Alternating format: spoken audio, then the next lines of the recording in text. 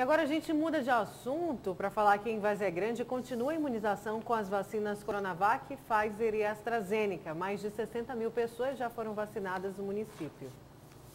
O movimento é bem tranquilo no ginásio Fiotão, com maior respeito no cumprimento do horário agendado, aí não tem aglomeração. E os idosos que completam o ciclo vacinal celebram esse momento importante. Tem idoso que está feliz mas observa, acha que os mais jovens é que deveriam ter sido prioridade no esquema de vacinação. Na minha concepção, eu não era para ser o primeiro para ser tomado, era você, ele, tá bom? Outros idosos mais debilitados também encerram o ciclo e estão agradecidos e esperançosos e desejando que todos consigam também a imunização.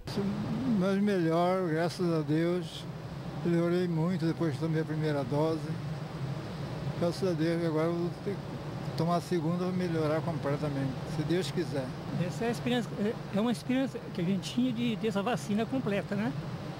E para quem está conseguindo, é felicidade. Em Várzea Grande não tem suspensão da Coronavac. O município ainda teria esse imunizante para completar a segunda dose. Também tem AstraZeneca e Pfizer. No período matutino, nós estamos fazendo a segunda dose é, de Coronavac para idosos e profissionais de saúde e também da AstraZeneca, também para esse público. À tarde nós estaremos é, fazendo a primeira dose para pessoas com comorbidade que por algum motivo perderam seu agendamento com a vacina da Pfizer. Até o momento, a Secretaria de Saúde de Várzea Grande já imunizou mais de 60 mil pessoas.